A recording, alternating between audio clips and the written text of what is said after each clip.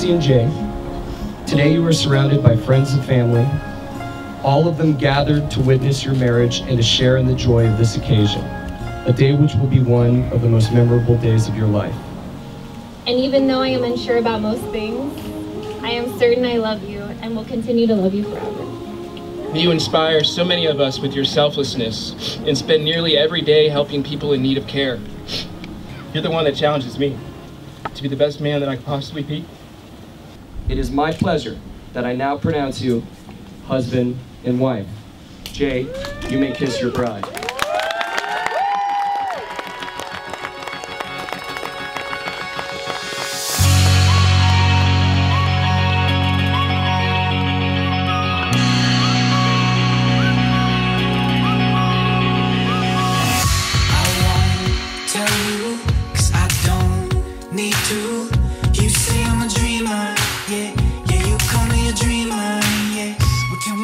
seeing